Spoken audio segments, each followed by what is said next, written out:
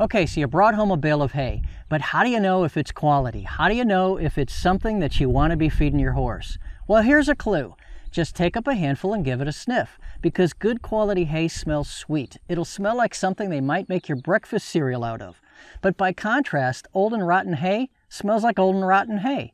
It's also going to feel sweaty or damp in your hands, it'll be off color, and it'll be matted together.